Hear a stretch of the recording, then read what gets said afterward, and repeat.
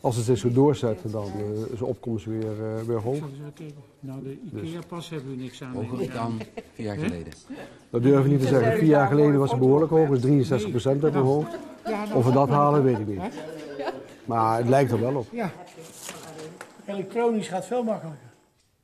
Hoe ver ligt Maastricht eigenlijk van Molenhoek? Eh, Tweeënhalf uur rijden. Ja. Ik heb niet de indruk dat er hier veel mensen zijn die echt Limburgs denken. Nee.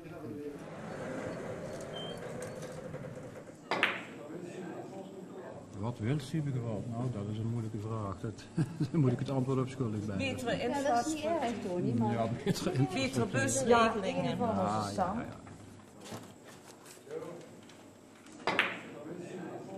Ik heb zelf het idee dat we mee vergeten worden. Dat is wel zo, ja. Heb ik een beetje het idee. Niet altijd, maar het, het blijft in, in de nu ook. Maar we horen tenslotte er altijd gewoon bij Limburg. Daarom is het natuurlijk ook heel belangrijk dat we allemaal gaan stemmen. Vind ik. Uh, het is gewoon Limburgse gemeente Mokenmiddelaar. Alleen door de geografische ligging is de oriëntatie toch ook, ook richting Nijmegen.